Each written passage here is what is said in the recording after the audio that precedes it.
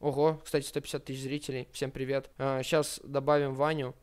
Просто на самом деле какой-никакой шок у меня есть от того, что удалили мне стрим. Какой-никакой шок у меня есть. Какой нахуй стрим? Удалили Инстаграм, блять. Но я вот не выспался, и это сказывается. То, что удалили мне Инстаграм, какой-никакой шок у меня жесткий, конечно, есть. Вот. Обидно. Но, э, как я говорил, типа, это не страшно. Это не страшно, потому что моя аудитория, ребята нормальные, которые все понимают, которые, люб- ну, которые, блядь, все прекрасно знают, все прекрасно понимают и очень быстро ко мне вернутся, когда, когда я скажу, ребята, вот мой новый Инстаграм, подпишитесь. Я думаю, подпишется очень много.